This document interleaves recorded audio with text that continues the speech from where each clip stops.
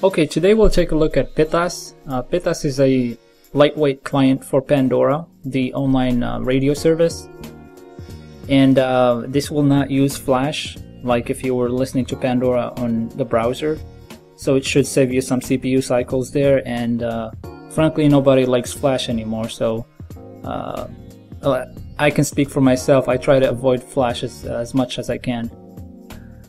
Okay, so uh, to get this, um, you have to go uh, copy some commands. Uh, I will include these commands with the video information, so you should be able to just uh, copy and paste them to your terminal, and uh, you should be able to install. After you do that, to launch it, you just go to uh, Applications, Sound and Video, and Pithos. Okay, so this is the interface. As you can see, it's showing you what's playing right now and uh, the next three uh, songs that will be playing. Uh, you don't have a lot of distracting uh, buttons or options here. You have play, skip, and you have uh, some settings here. If you go to settings, this is where you enter your uh, your account information for Pandora. So you just enter your email address and your password. Uh, if you don't have an account with Pandora.com, uh, you can click here and it will take you to their webpage uh, where you can create a new account. Uh, if you have to use a proxy, you can enter it here.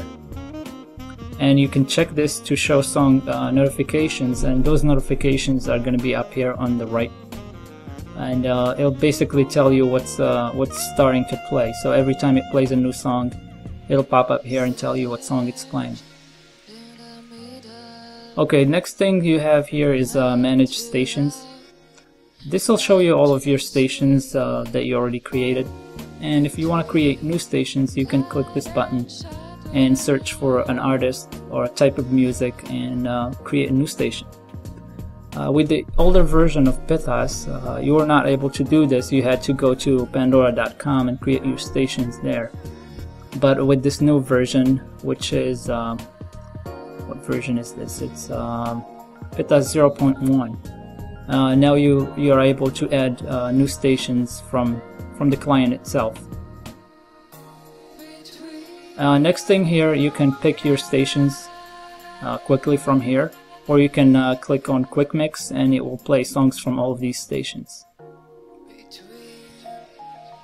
So this is uh, nice if you like to listen to Pandora and uh, uh, you don't want to use their uh, browser interface or Flash.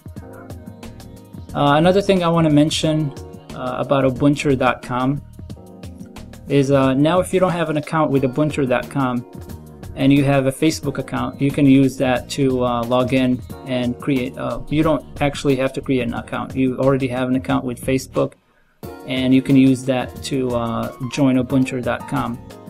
If you already have an account with uh, Ubunter.com and you do have a Facebook account, you can log in with your Facebook account and uh, integrate your uh, Ubunter.com account with it. And by doing this, you can have access to your Facebook from Ubunter.com and you can share things and uh, post things from Ubunter.com to your Facebook account. Okay, thanks for watching.